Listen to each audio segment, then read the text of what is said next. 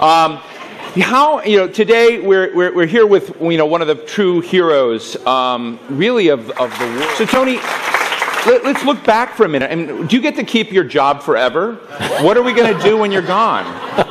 You know it's, that's my biggest worry today. I mean it, it, how long is your term? Uh, unlimited. Unlimited great. Not funding today not investing in that we should be investing we only in. fund about one out of every six grants that get submitted. And about you know three out of those six are really good. So there's a lot of good science that's not getting funded. So what i'm saying is that it isn't that we're leaving something out. It's that we're not doing enough on a number of things that we should be doing. Are the chinese doing more? You know, it's very interesting. We had a visit, visit that was at the Centers for Strategic and International Studies right on Rhode Island Avenue. We had a visit from the vice premier of China, the director of the Chinese CDC, and the president of the Center for, for, for uh, Advanced Medical Science in China.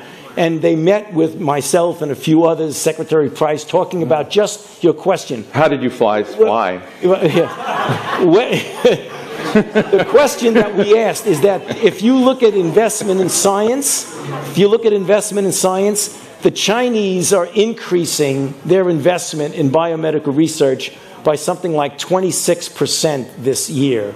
And take a look at what we're doing. We're cutting it by a percent. So if you do the bar graph, you see a bar Another tweetable moment right yeah. there. I just It is. I mean, it's the yeah. truth. They are yeah. investing very, very heavily in biomedical research. Are they thinking of hiring you? Uh, I'm trying to hire them. Oh,